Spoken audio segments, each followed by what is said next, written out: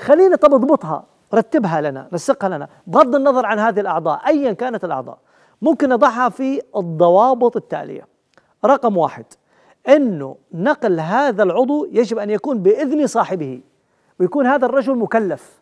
مش ناخذ من واحد طفل صغير أو واحد ما يدري أو واحد مجنون لا يجوز الاعتداء على البدن.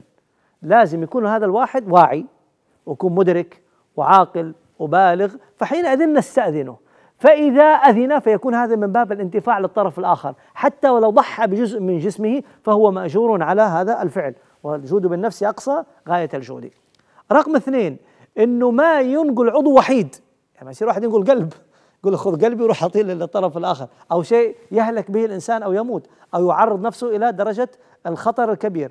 فرقم اثنين لا تنقل عضوا ثابتا. يعني وحيدا. لا يمكن الإنسان أن يعيش إلا به.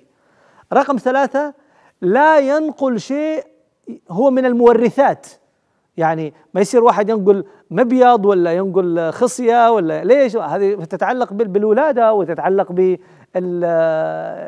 بالابناء والذرية والنسب لأن هذه فيها المكونات الحقيقية. فهذه أشياء خاصة بالإنسان.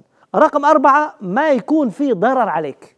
يعني يجي الطبيب يقول لا والله ترى لو نقلته نسبة التعب ونسبة الإيذاء ونسبة المرض حتكون عالية. فإذا تحققنا من هذا هذا شيء جيد بالنسبة لمين؟ بالنسبة للإنسان. رقم خمسة أنه يكون في مكان صحيح. يعني إما مستشفى حقيقية وناس متخصصون حتى يقومون بهذا الدور دور المعالجة. رقم ستة يغلب على ظن الطبيب. أنك لو نقلت العضو للطرف الآخر يغلب ها؟ على ظن الطبيب. أنك بإذن الله حينفعك. يصير ما يصير هكذا كان يقول خلينا نجرب ناخذ عضو ونجرب لا المسألة ليست بهذه المنطقية. إنما يغلب على وجه الحقيقة والانتفاع. نحن نتكلم بشكل إيش؟ بشكل غالب. النقطة التي تليها ممكن يكون هذا الإنسان الذي سنأخذ منه العضو ميت. حنتكلم مع مين؟ نتكلم مع الورثة. ونقول تعالوا يا ورثة.